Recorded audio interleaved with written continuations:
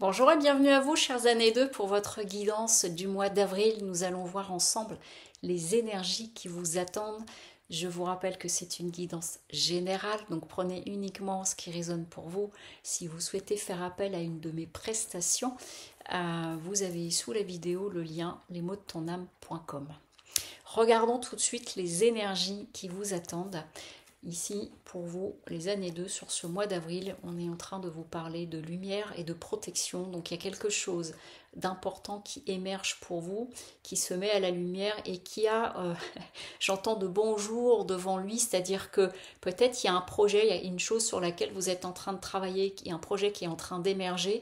Et ici, on est en train de vous dire que c'est en train de se faire jour et qu'il y a une belle protection par rapport à tout ça. Toutefois, parce que j'ai préparé le tirage, il y a quand même quelques éléments importants à vous transmettre. D'une part, c'est de vous mettre au labeur, c'est vraiment de faire preuve de persévérance euh, et de, vous inscrire.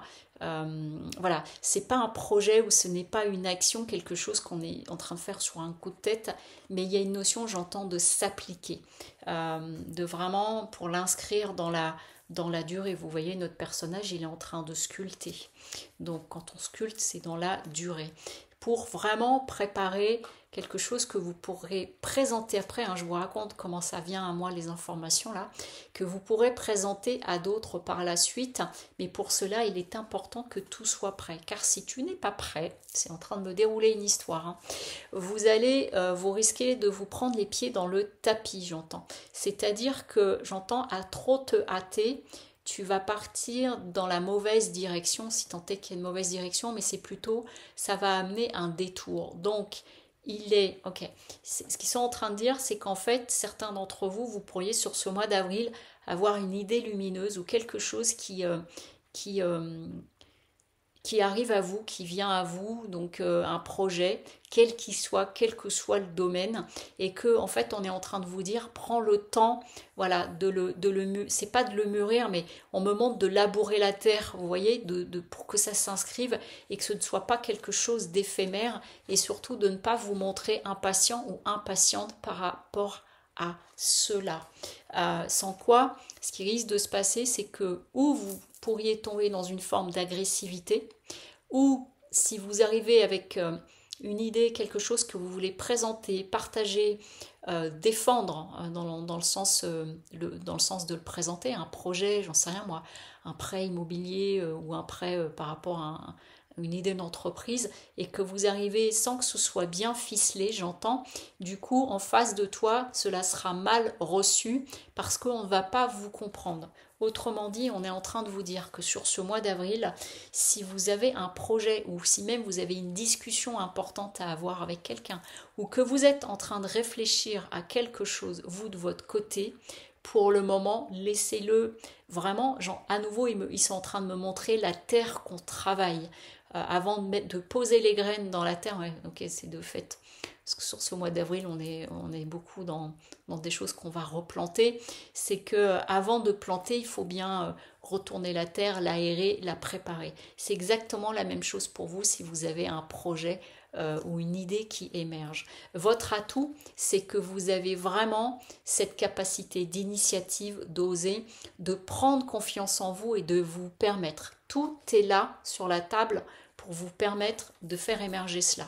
Toutefois, voilà, à nouveau, l'avertissement, c'est euh, de... Euh, il y a une notion de remettre en question ici. Le défi, ça va être de... Euh, voilà, c'est vraiment de ne pas partir bille en tête n'importe comment. À nouveau, on est en train de me montrer quelqu'un qui se prend les pieds dans le tapis.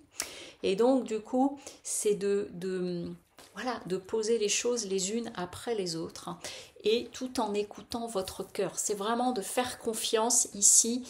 Vous voyez, on pourrait dire que l'un est le cœur et l'autre est le mental et il y a euh, notre petit ange qui intervient au-dessus. Et là, on est en train de dire de toujours vous réaligner au niveau du cœur pour prendre les meilleures décisions et même pour gagner en patience euh, ou en sagesse. Alors, je vous propose maintenant de choisir en carte conseil parmi l'une des trois cartes, comme j'avais fait au mois de mars. Choisissez la carte numéro 1, numéro 2 ou numéro 3 pour recevoir le conseil le plus juste pour vous sur ce mois d'avril. Et la dernière. Ok. Alors, on est en train de vous dire ici, pour celles et ceux qui ont choisi la carte numéro 1, d'être vraiment dans cet esprit d'entreprise, d'entreprendre, de mettre en œuvre. Mais mettre en œuvre peut nécessiter réflexion, prendre un peu de temps. Mais ils disent, j'entends, cultive cette énergie-là. Et même si, euh, vous voyez, euh, il peut y avoir un petit peu d'impatience ou quelque chose comme ça, c'est OK. Faites avec. Ça remet pas tout en question, j'entends.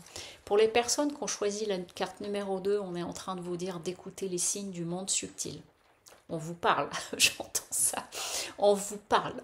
Donc euh, écoutez bien les signes du monde subtil.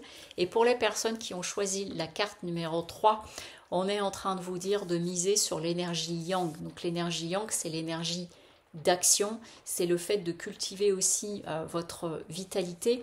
Et l'énergie yang, c'est aussi le fait de matérialiser, de concrétiser. Donc si vous avez des idées, posez-les, j'entends couche-les sur le papier. Voilà pour vous, chers années 2. Bah, écoutez, je vous souhaite un très beau mois d'avril. Au revoir.